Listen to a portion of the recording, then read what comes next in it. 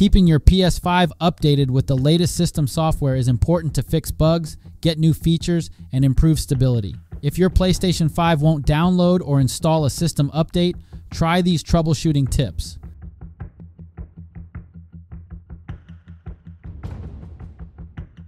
Check your internet connection. Make sure your PS5 is connected to the internet with a stable, high speed connection.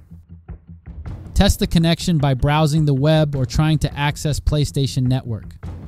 If the connection is dropping, try moving the PS5 closer to your router or use an Ethernet cable for a wired connection. Restart your network devices. Restarting your modem, router, or other network devices can help resolve temporary connectivity problems that prevent downloading updates. Unplug each device, wait a minute, then plug them back in to reboot them. Check for error codes. If your update download gets stuck at a specific percentage, take note of any error codes displayed. Sony's error code documentation can help diagnose certain software update issues. Rebuild the PS5 database. Rebuilding the database clears out corrupted data that could prevent the system from updating properly. Fully power off your PS5. Press and hold the power button, releasing only after you hear the second beep.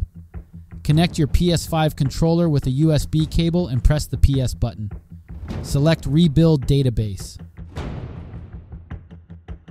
Retry on safe mode. If other steps fail, try initiating the update in safe mode instead. Turn off your PS5. Press and hold the power button until you hear two beeps.